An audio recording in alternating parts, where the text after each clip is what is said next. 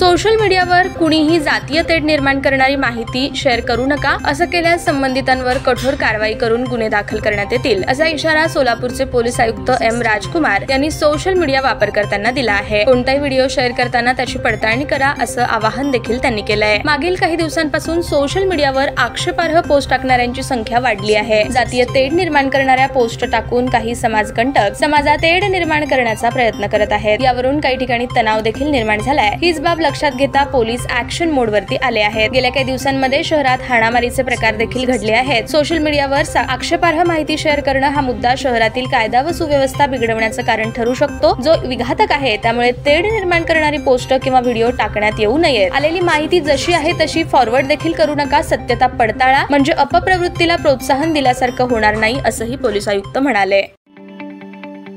ताज्या बातम्या पाहण्यासाठी प्राईम महाराष्ट्र न्यूज चॅनलला सबस्क्राईब करा.